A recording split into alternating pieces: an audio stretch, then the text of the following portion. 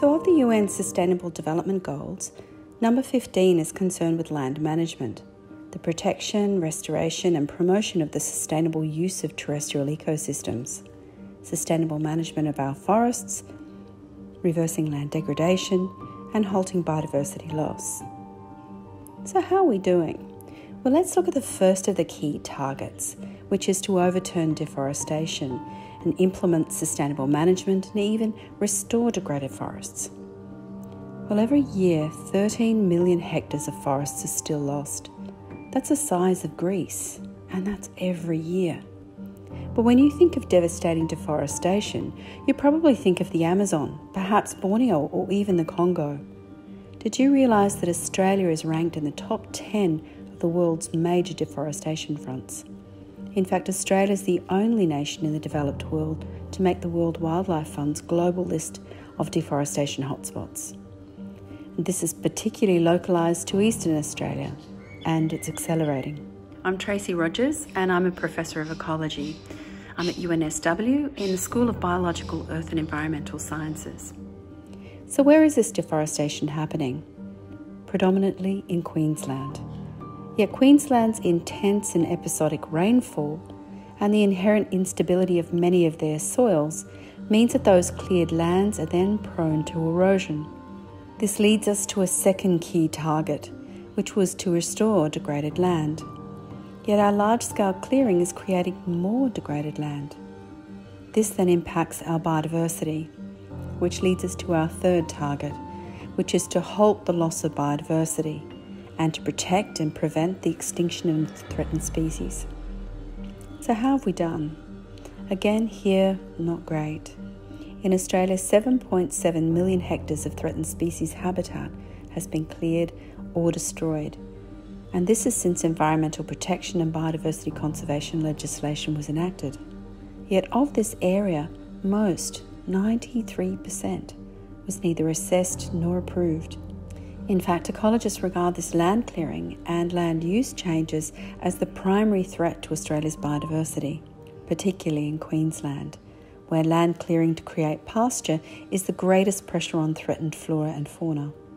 Among the top 10 species to lose the most area were the red goshawk, the ghost bat, and the koala losing 3 million, 2.9 million, and 1 million hectares, respectively. Well, maybe this isn't such an issue.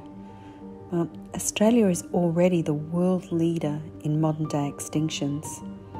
Yep, a hundred endemic Australian species living in 1788 are now extinct. This represents about 6 to 10% of the world's extinctions since 1500.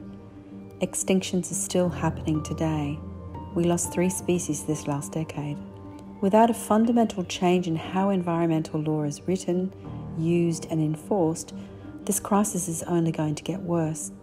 So, why are we clearing so much of our native forests, which leads to land degradation and then this extinction wave? We're clearing for a variety of reasons, but the main culprit is farming and grazing. Livestock such as cattle and sheep need lots of space to graze, and often that grazing land used to be covered with native forests. Cattle and sheep also need lots of water, so that meat production, like our beef and lamb, and even more so for dairy products like milk and cheese, are particularly inefficient to produce. But what can we do, especially those of us who live in cities and have little direct interaction with the land? Actually, we can do quite a lot. When you buy meat, Go to your local butcher rather than a big supermarket chain. Find out from your butcher the source and impact of the food you eat, including its packaging, fuel, and transport. Even better, shift to a plant based diet. Eat less meat and dairy, or none at all. This will make an enormous difference.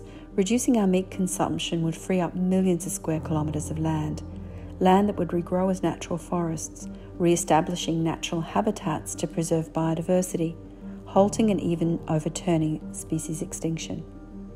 So, reducing the amount of meat we eat will even improve our health. Only about 25% of the world regularly eats meat, and in countries such as here in Australia and in the US, we eat lots of meat. So that us as consumers and the landowners, the farmers and pastoralists as growers, Together, we hold the power to make this positive shift. Did you know that farming contributes a third of the world's greenhouse gases? So that when we think about solving climate change and what our governments can do, we need to include thinking about agriculture. In fact, our land use practices of deforestation for our agricultural needs threaten our ability to limit the global temperature increase to 1.5 degrees Celsius. And that's our goal from the 2015 Paris Climate Agreement. But if we shift towards a plant based diet and reduce, or if you can, eliminate our meat consumption, we boost significantly the plant's ability to fight climate change. We would reduce carbon emissions by up to 8 gigatons annually by 2050. But landowners need our support to transition their livelihoods from feeding us meat to feeding us plant products, or there needs to be real value in using their land to capture carbon. We need to push our governments to provide landowners with the support they need to make this transition. Going vegan is the single biggest thing I can do to reverse deforestation, preserve biodiversity, stop species loss, halt climate change, and at the same time feed the world. Although land clearing for agriculture is part of the problem, it's also a critical part of the solution. Our sustainable actions mean that we are a critical part of the solution. There's enormous power in our purchasing choices.